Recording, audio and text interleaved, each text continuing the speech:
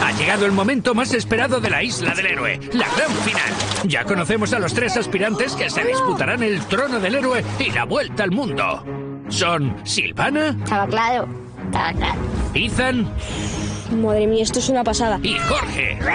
Aunque Jorge ya no podrá compartir la final con su mejor amigo porque Manu abandonó la isla en el último programa.